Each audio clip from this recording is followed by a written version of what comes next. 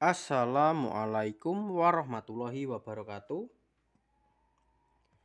Selamat datang di channel kita berhitung. Pada kesempatan kali ini kakak akan mencoba mengajarkan bagaimana sih cara mencari jawaban dari soal berikut. Berikut adalah nilai ulangan matematika siswa kelas 5 ya. Ini datanya.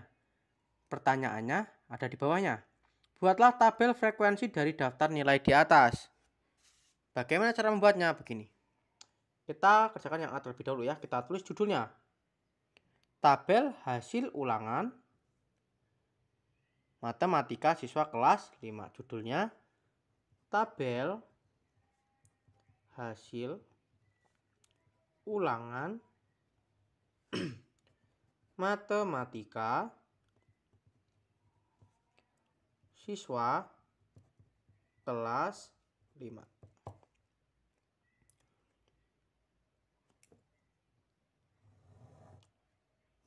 Ada dua datanya ya nilai dan jumlah. Jenisnya ada banyak.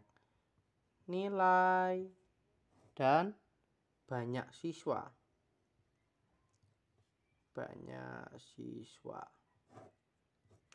Kita mulai dari yang terkecil. Yang terkecil apa? 60 nilainya 60 jumlahnya berapa? Hanya satu. Kita lanjutkan. Setelah 60 yang paling kecil apa? 65. Jumlahnya berapa? Ada 4.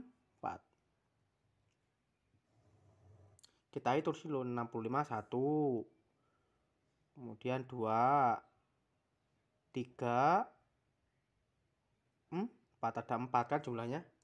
Selanjutnya 65 75. 75 jumlahnya berapa? Ada 8. Setelah 75 ada 80. 80 jumlahnya ada 5. 80 85 85 jumlahnya ada 6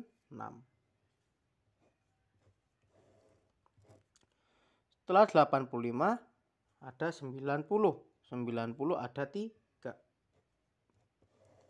setelah 90 ada 95 95 ada 3 juga ya satu. Dua tiga ada tiga juga. Nah ini tabel frekuensinya. Selanjutnya yang B ya yang B. Berapa banyak siswa yang mengikuti ulangan matematika? Kita jumlahkan. 1 4 8 kalau kalian kalau enggak kalian langsung hitung di sini. 1 2 3 4 5 6 6 kali 1 2 3 4 5 6 kali 5 berapa? 30 anak kalau tidak kalian jumlahkan satu persatu. Satu tambah 4, 5. 5 tambah 8 berapa dan seterusnya. Jumlahnya ada 30 anak. Selanjutnya yang C. Berapa siswa yang mendapatkan nilai 80? Kita lihat di sini 80 ada 5. 5 anak. Selanjutnya yang D. Berapa banyak siswa nilainya kurang dari 75? 75 ini 8 ya, berarti kita menghitungnya 65 dan 60. 1 tambah 4 berapa? 5. Ada 5A. Nah. Selanjutnya yang E. Berapa siswa yang mendapat nilai tertinggi? Nilai tertinggi itu berapa? 95 ya. 95 berapa? 3. Berarti 3A. Nah. Mudah bukan adik-adik? Apabila kalian sudah paham, kalian luar biasa. Apabila belum paham, silahkan ulangi lagi videonya. Apabila ada yang ingin ditanyakan, silahkan tulis di kolom komentar. Sampai jumpa di video berikutnya. Wassalamualaikum warahmatullahi wabarakatuh.